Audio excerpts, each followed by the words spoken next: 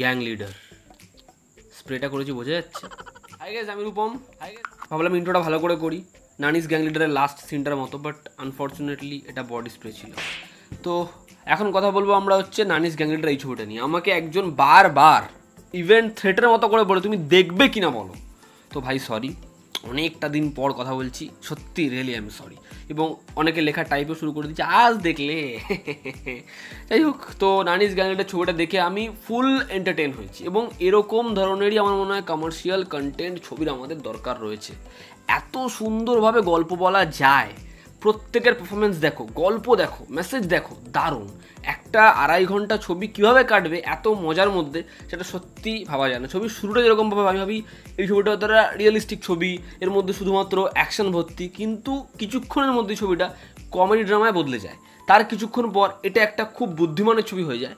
তারপর আবার ছবিটার মধ্যে কমেডি ছবিটার মধ্যে রোম্যান্টিক ইমোশন এবং শেষে আবার অ্যাকশন তো ওভারঅল সব কিছুর একটা দারুণ প্যাকেজ হচ্ছে নানিস গ্যাংলিটার। একটা খুব ভালো ছবি, প্রত্যেকের দেখা উচিত। এই কথাটাও আমার বলা উচিত না, কারণ আমার মনে হয় সবার দেখা হয়ে গেছে।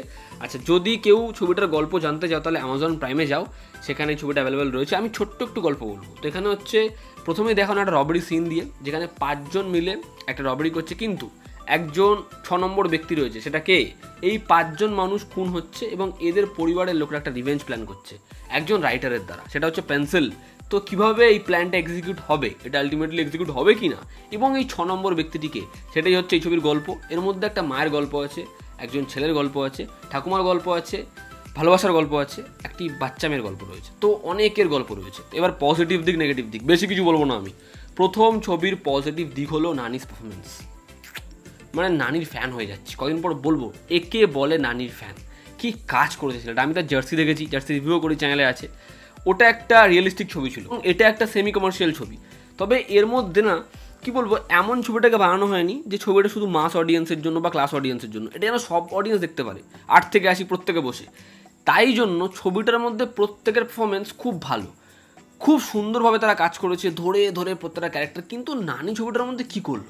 যেমনি তার এক্সপ্রেশন তেমনি তার ডায়লগ ডেলিভারি সেমনি কমেডি জায়গা ইভেন অ্যাকশন সিকোয়েন্সেও ফাটিয়ে দিয়েছে গুরু। এবং সাপোর্টিং কাস্টও খুব স্ট্রং দাদি থেকে শুরু করে বাচ্চারা প্রত্যেকে দারুণ।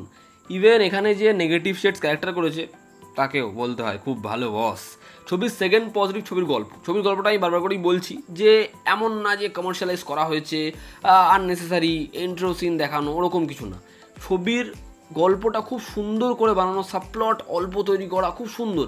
মানে একদম অন পয়েন্টে যেটা আমার খুব ভালো লেগেছে। এবং শেষের যে টুইস্ট অ্যান্ড টার্নসগুলো এসছে, সেগুলো খুব সুন্দর।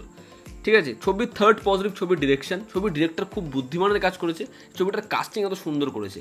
খুব ভালো লাগে ছবিটা দেখতে ফ্যামিলি অডিয়েন্সের জন্য বানানো, সুন্দর করে বানানো। চার নম্বর পজিটিভ হচ্ছে ছবির এডিটিং ছবিটা দু ঘণ্টা প্রায় পঁয়ত্রিশ মিনিট, তাও আপনার একবারও মনে হবে না ছবিটা বড় ছবি, ছবিটার একটু জায়গাটা কাটা যেত, একদমই মনে হবে না।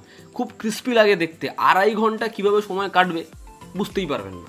তো আমার মনে হয় প্রত্যেকের একবার ছবিটা দেখা উচিত, খুব ভালো লাগবে। যারা আমার মতো কেউ থাকবে যারা পরে ছবি দেখে, তাদেরকে বলছি, গিয়ে ছবিটা দেখো। আমার নেগেটিভ বলতে গেলে একটা জিনিসই মনে হচ্ছে, সেটা হচ্ছে ছবির ইন্ট্রোডাকশন রবারি সিনটার সাথে কেন আমরা হলিউডের বহু ছবির মিল পাই এবং দ্বিতীয়ত, শেষের যে অ্যাকশন দৃশ্যটা রয়েছে, সেটার সাথে কেন আমরা ফার্স্ট অ্যান্ড ফিউরিয়াস সেভেনের ভিনবাবু এবং জনসন বাবুর মারপিটের দৃশ্যটার মিল পাই, এটাই একটা।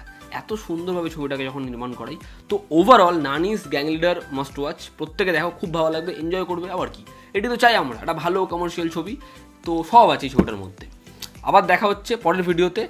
আশা করি জনতা আমার পাশে আছে, আমাদের পাশে রয়েছে। আর ভিডিওটা ভালো লাগলে কি করবে? লাইক করবে, একটু শেয়ার করবে, একটু টেক কেয়ার করবে, একটু সাবস্ক্রাইব বাটনটা প্লিজ ভাই প্লিজ আবার প্রেস করে দাও। ভাই, বোন, দাদা, বন্ধু, সবাই। আবার দেখা হচ্ছে পরের ভিডিওতে। পুরো ঘেমে চান হয়ে গেছিস বসি যখন, কি সুন্দরভাবে বসি। এবং যখন শেষ হয় না, পুরো জামা নিগড়াতে নিগড়াতে বেরোই। আবার দেখা হচ্ছে টেক কেয়ার